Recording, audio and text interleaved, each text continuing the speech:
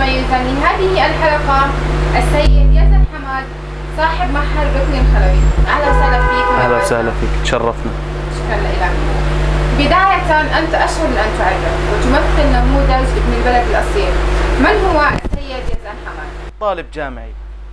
بشتغل وبدرس و وماشي الأمور يعني ومشينها و بنشتغل وبندرس وبنقوم بحياة. يعني الواحد بده يشتغل وبده يدرس يعني اجباري يعني مع المجتمع عشان يحاول يعيش بالمجتمع. نعم. هاي أول نقطة، ثاني نقطة يعني شايف وضع البلد كيف؟ يعني كوضع اقتصادي كذا لازم الواحد إنه يجيب له القرش عشان يعيشه. أما يضله قاعد بالبيت ويأخذ مصروفه من أهله ما مش هالشيء اللي كويس يعني، أما يشتغل ويجتهد ويقرأ و... والأمور ماشية. ويتابع حاله ويأسس حاله يعني، ما فيش شيء بيجي من فراغ، يضله قاعد يستنى بالقدر، القدر مش راح يجي لحاله، ربنا بقول لك اسعى. صحيح. صحيح 100%. جميل. آه سيد آه، يزن نتحدث الآن عن هذا المحل.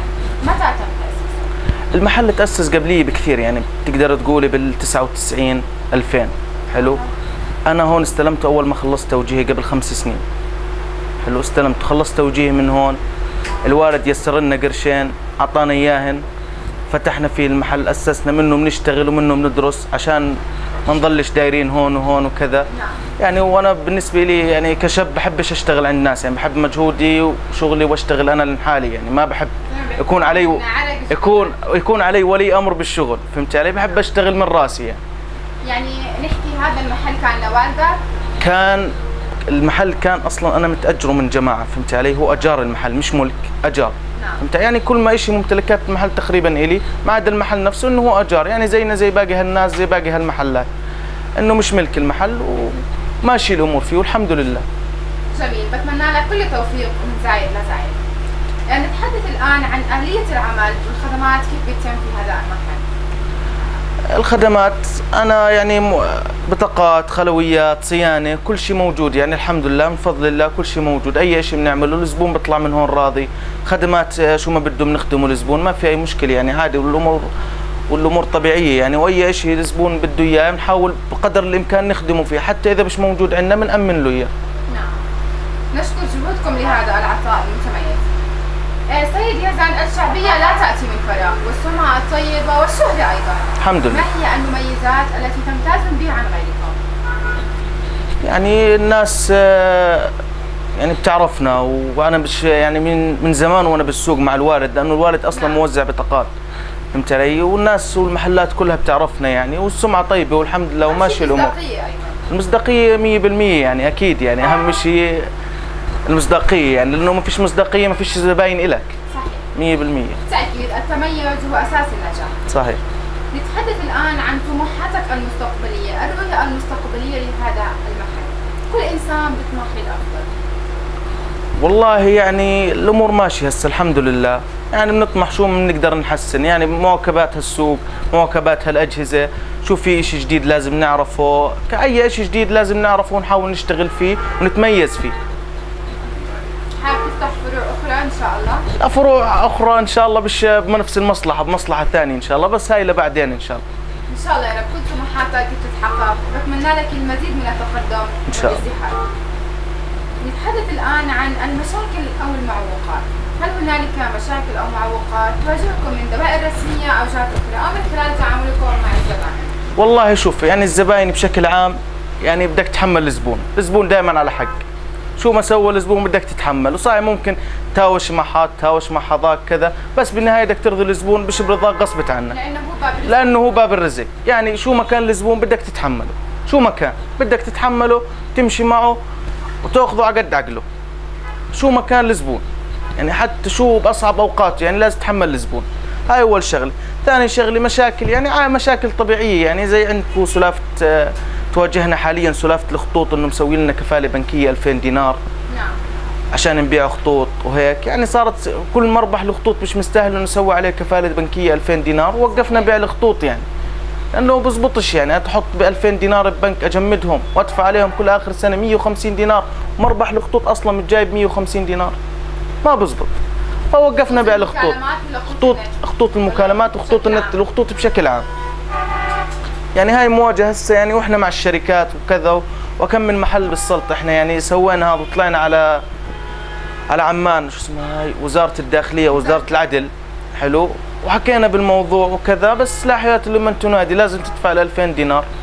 وكل خطوط مش جايبة 2000 دينار. لو ضربتيها بسنة كاملة ما بتجيب 2000 دينار.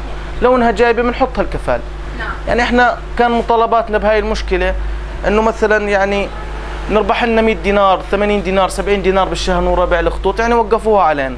فهمت يعني هذول بيساهموا بضمان المحل بأجار المحل بشو ما كان بيساهم فيه؟ صحيح. بسهم أجار. هاي قطعوها علينا. يعني إحنا بطلنا نبيع خطوط وكذا محل بطل يبيع خطوط. يعني محلين ثلاث بالسوق ببيعوا خطوط.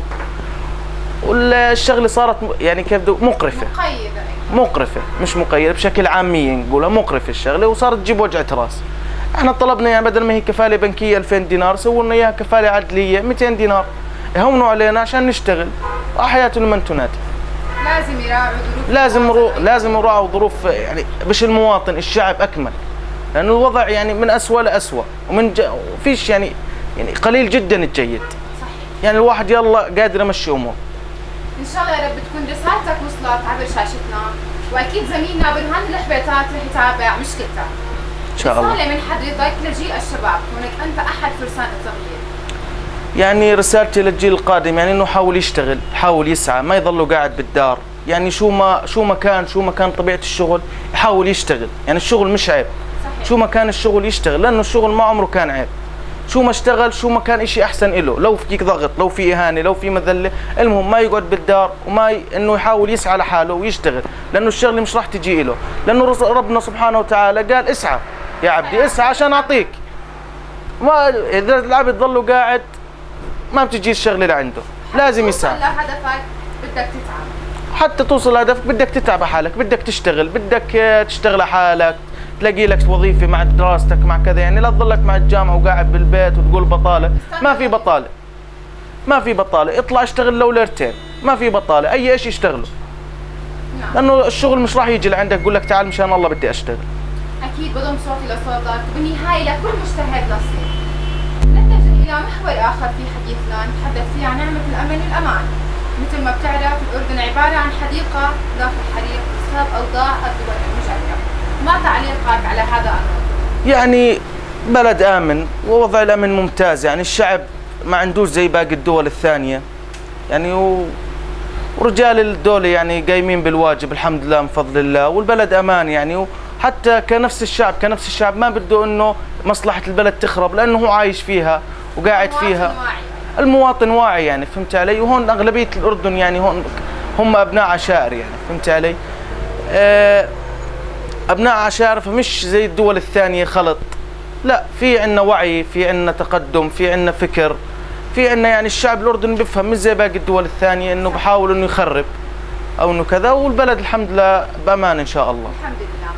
الله يخلي لنا جلالة سيدنا والقيادة الهاشمية ونتمنى السلام لجميع الدول العربية. قبل ختام حلقتنا نعرف السادة المشاهدين بموقع هذا المحل وطرق التواصل.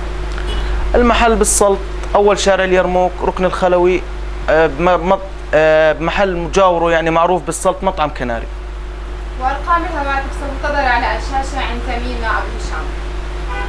وفي. نهاية حلقتي لهذا اليوم أتقدم بجزيل الشكر العرفان للسيد يزن حماد على هذا اللقاء والاستقبال الرائع. شكرا لك ونورتنا أهلا وسهلا.